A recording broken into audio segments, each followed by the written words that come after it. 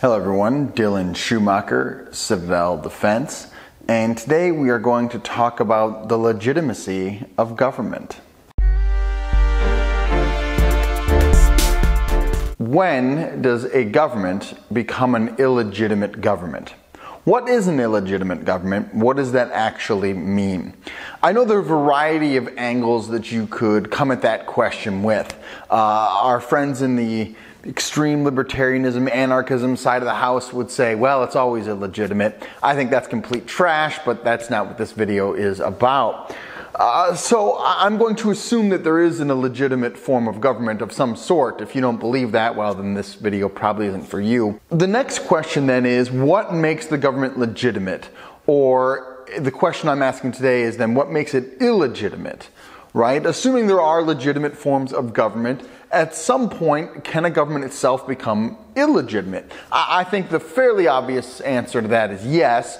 We can all think of illegitimate or evil governments throughout history. Um, Germany under Hitler, for example, the current Chinese government, the current North Korean government right? We, we would argue those are, to some degree or another, illegitimate or at least bad governments. Uh, Russia under Stalin, you know, these examples where the government itself has perpetrated deep atrocities against its people. Surely, if there is an illegitimate or bad, evil government. I'm going to kind of conflate all those terms. Surely, if there is such a thing as illegitimate governments, those are it, right? That is it. Can a government be illegitimate before it gets there? And, and, I think that's a question worth asking. Is there a point where a government crosses the line into being an illegitimate government before it gets to the deep atrocities level stuff? I, I think the answer to that is yes. Uh, the, the common answer in America is that a government is illegitimate when it is no longer uh, governed by consent. If you ask where I'm getting that from, well, I'm getting that from the Declaration of Independence, right? When the people are no longer governed by a government that's governed by consent, then it's the duty and the right of the people to throw that government off. That's, that's in the founding document of our nation. And I think that's a, a, pretty good answer in general. You can get into, well, what does that mean? What does consent of the governed mean? Uh, and you can go down some rabbit trails and some philosophies there, but I'm, I'm not interested in doing that right now. I would pull the answer from the Bible. Uh, in the letter to the Romans by Paul, uh, in chapter 13, verse 4, he writes about how the government's job is to punish evil and reward good punish evil and reward good. That's the job of, of a government. And a good government does that, and a bad government doesn't. And so, certainly, there are examples we can all think of in history where governments no longer rewarded good and punished evil.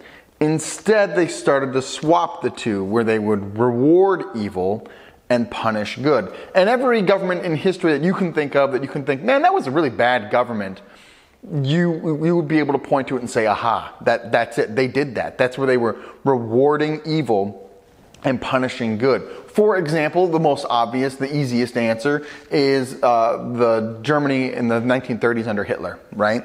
Uh, you have them punishing good. So, for example, if you were to hide uh, Jews in your house, right?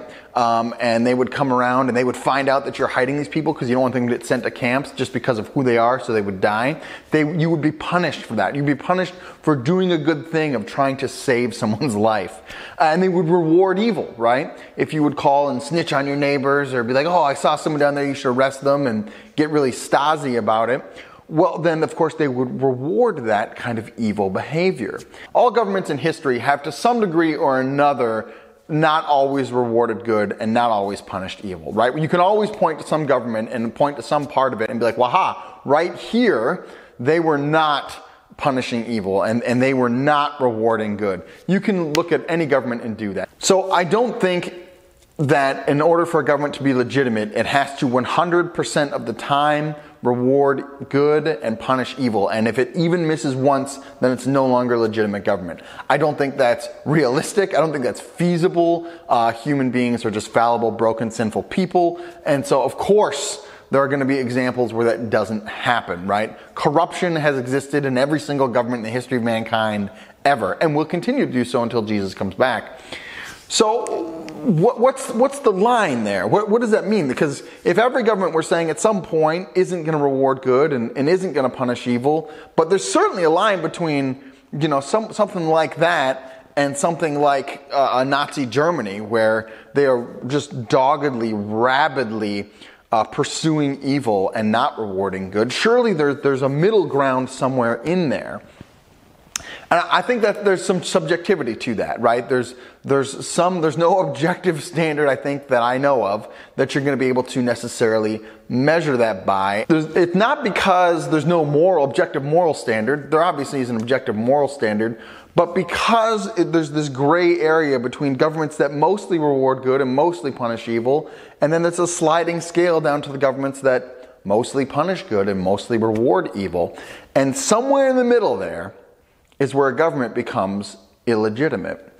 Now, imagine if you lived in a country that had an election stolen. That was pretty blatant, but the winner was won by the most popular votes in the history of that nation ever. And then that government goes on to impose uh, lots of restrictions and edicts and declarations that go against the legitimate form of government that those people have practiced for hundreds of years and, and started to do things unilaterally in a nation where things were usually done by consensus and, and through elections. Imagine a nation like that where then they started to use the power of the state to crush the political opposition. If you can imagine a state like that, then you can imagine somewhere in there that that government would no longer be legitimate and would no longer be valid because at some point in there, they will be using power to might makes right, right? If I have the power, I can do whatever I want. That's what that means. And they'll be using that to crush anyone who stands in their way to more power. And in the course of doing that, it is inevitable that you will reward evil and that you will punish good. Because someone could stand up and say, wait a second, um, that's, that's not how we do things in this nation. And, and that's not, you know, how we uh, go about uh, doing things here. And we have never done them that way. And, and so, you know, we do this thing by consensus and elections and, and we have discussions and debate and, you know, we have different bodies that write laws and different bodies that execute laws and different bodies that judge laws. I mean, just hypothetically speaking here, uh, imagine there was a nation like that. And, and imagine that in there, there was a person who rose up and said, No, I don't need these other branches of government. I, I can do whatever it is that I please. Uh, I don't need to do things the way we do things. I know we have this written piece of paper that has established how we do government in this nation, but I no longer will adhere to that. I'm just going to unilaterally decide and make laws by myself, even though I know I don't have that authority, but I'm going to do it anyway. Uh, imagine what that would be like to live in a land like that, where someone can just make laws on a whim and there's nothing you can do about it. I, I know this is all super hypothetical and, and you might have a tough time getting there, but just imagine with me that at some point that's not going to be a legitimate government. One, because it goes against the context of which that government was in place, and it goes against the entire founding idea of how that nation is supposed to function.